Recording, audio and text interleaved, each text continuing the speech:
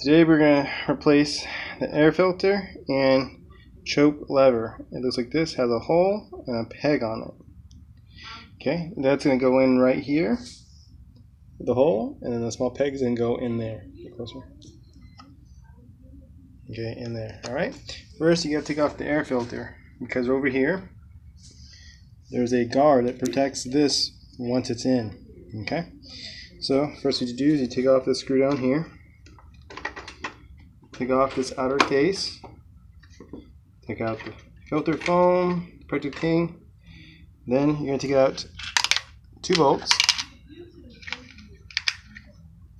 This hose right here pops out. Just put it over up here for now. And, and you're off. Now this goes onto here and there at the same time and should do this. Now just put your air filter back on. The metal filter, two bolts first, the metal filter in the case, and you're all good.